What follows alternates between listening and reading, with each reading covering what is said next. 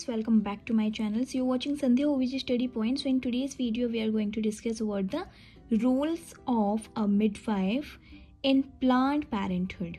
Okay? So first of all let's see actually what is planned parenthood. Let's see here. Planned parenthood is a fundamental human right of parents they should control their fertility and limit the size and spacing of their family because involuntary parenthood creates many problems like social and financial as well as physical and emotional.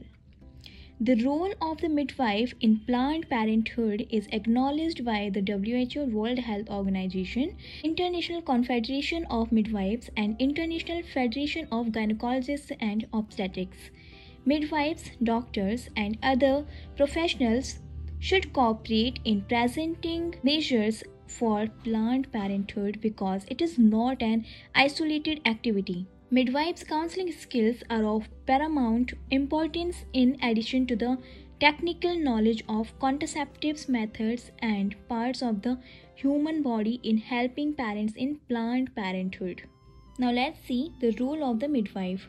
Discuss with the couple the range of contraceptives available when they come to antenatal clinics in early puerperium, in postnatal clinic, and in under 5 clinics.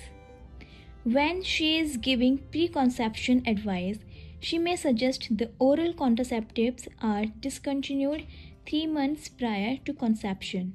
Also advise her to rectify vitamin deficiency during this period. She has an important role in giving advice when couple seeks help in relation to risk associated with their sexual lifestyles.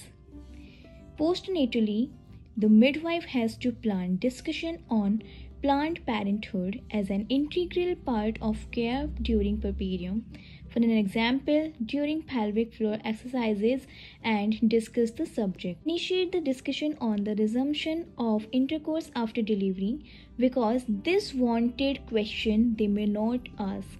Explain the various methods of contraception and let them choose because there are various factors which govern an individual choice like religion, cultural, frequency of intercourse, and lifestyle. So, these are all the role of a midwife in Planned Parenthood.